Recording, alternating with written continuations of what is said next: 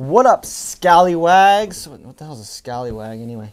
Well, anyway, climbing has a lot of jargon. There's a lot of words that you may not know. So I decided I might do a couple of these episodes where I do like the top 10 words, climbing jargon words. A lot of you guys have been experienced.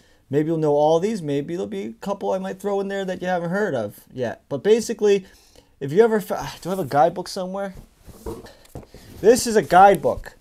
And if you want any hope in understanding one of these things, you're going to have to know some of the jargon of the terrain. So today I'm putting together a maybe a little bit over top 10 list of the most popular climbing terrain terms. So let's hop right into it and uh, we'll get started. okay, we'll start you off with an easy one. This here is called an arête. So it's basically an outward facing ridge or corner.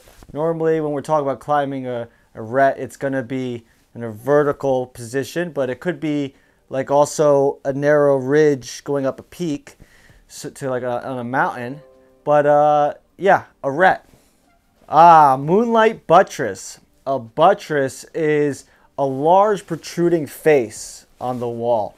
It, it basically provides a lot of exposure because um, an exposure is another word that we use. Basically, you really don't know what exposure is so you feel it. You're like you're like a little ant on the edge of a plane of glass and there's just all open air around you.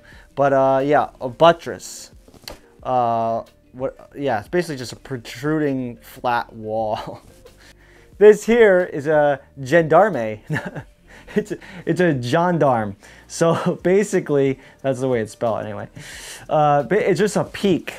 Uh, you can imagine it as a peak or a pinnacle of rock that's on the top of a, a mountain ridge. Gendarme. Okay, I'm sure you heard of an off width before. So an off width is a width that is off. Okay, so it's too big, the width is too big to be good for good, proper like hand jams, like one hand jams. Like the crack is just a little bit too big, but it's also too small to get your whole body in there and be like a chimney climb, which I'll cover that in a second. So it's just it's just off widths are just a whole nother uh, grade of their own. They're they're just off. When the crack becomes bigger, it's more defined as a fissure now. It gets so big and wide enough that you could do a chimney climb, which is basically what this is. It's a chimney. So you could, there's different techniques. You could go like this, up it, legs, hands, legs, hands, or you have your back up against the wall and just have your legs.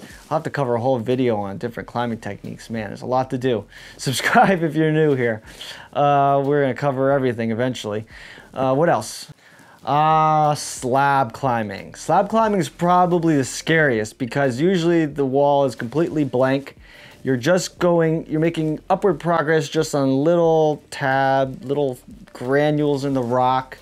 Um, it could be edges and stuff like that. I have to cover that term too. But basically, there's not a lot there to protect yourself. It's just, it's, it's not 90 degrees, it's inclined.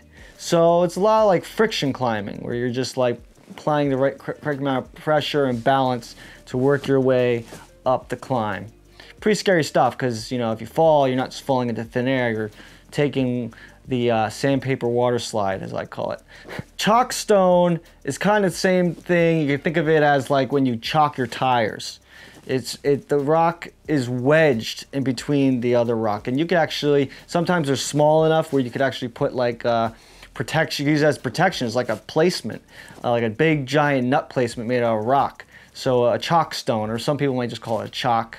But uh, here's a really, here's a really big one. a corner. So a corner is the opposite of an arête. So a arête would be like outward facing, corner would be inward facing. And the technique you'd use in a corner is stemming. You'd be stemming out, uh, applying pressure and moving your way up and could lay back maybe the inside of the corner, uh, but corner. Edges. So the gunks is basically just all a bunch of edges, but, but uh, an edge could vary in different sizes. It could be big enough for you to get your whole body on, but that, at that point we might end up calling it a ledge and not an edge. If you could sleep on it, I'd say I'd call it a ledge. Uh, but anything narrow or smaller, it's flat on top. Or it could be sideways pulling. We call it an edge too. Edge. A flake. So you can kind of imagine a flake like a, a giant cornflake that's just sitting on the, the edge of a, of a climb. It could be pretty solid, but it's always kind of sketchy. Like this here is a famous flake, the boot flake. It looks like a boot. And everyone says one day it might detach. No one knows why. It's just exactly why it's sitting up there, but it's just sitting there. And they could be a little dodgy. They might fall off. They might not. I mean, you, normally when you whack on them, they'll sound hollow. They can range in sizes and be huge. If they're small enough, you could probably pull them off. Big ones are just sitting up there because they're so heavy. It takes a lot to move them, but You'll know a flake when you see one. so a horn is pretty much a horn. Uh, they can range in sizes too, and some of them can make great anchor points. If there's a really solid horn, you could anchor right your rope right around it and create an anchor system right off the horn if it's you know, right position and uh, safe. Obviously, you have to be able to know that you're not gonna pop off the horn, but you usually you could get something right around a horn, and uh, it could be pretty bomber. An overhang. So anything that's over like 90 degrees that's overhanging is an overhang but normally you if someone said oh you know it's right under that overhang it might end up especially if you're in the gunks it might just be something that's like 90 degrees uh, overhanging and then you have to get over the overhang and keep climbing overhang so that was your not so top 10ish uh, climbing terrain terms. How did you like that? Did you get them all? Let me know in the comments below. Um, if you like this kind of content, subscribe and like and let me know. Maybe I'll do some um, more of these. I mean, I could do handhold, like all the types of body position handholds. I could do top 10 of those things. Those could get pretty jargony. Um, and other things. I could keep going, make, make a few top 10 things if this is, becomes popular. So like it and let me know. Joshua Perry, climbing out of here. Hey beta climbers, you all want to see a plot twist? Besides my merch, check my out merch store. Link description below. Check this out. Check this out, beta climbers. Check this out. Beta climber was alpha this whole time.